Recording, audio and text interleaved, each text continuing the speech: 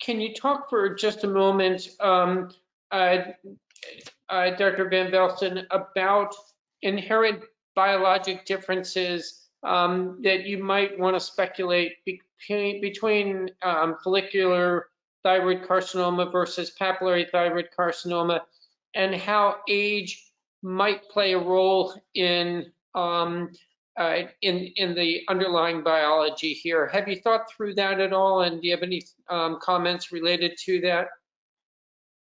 Um, yeah, well, what we know, what we see in all the, all the studies, that the patients with follicular carcinoma are are are indeed older.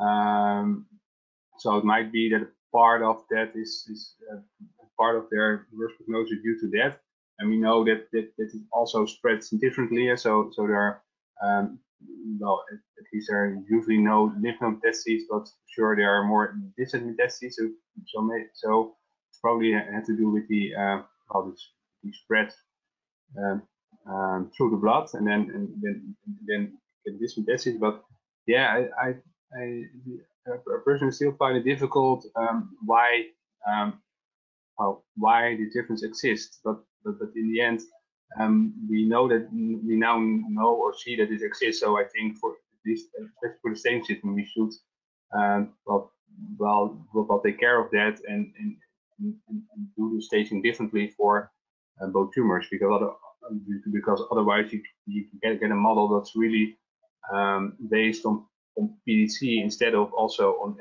on FTC. So I think that's that's one of the different um, uh, important things.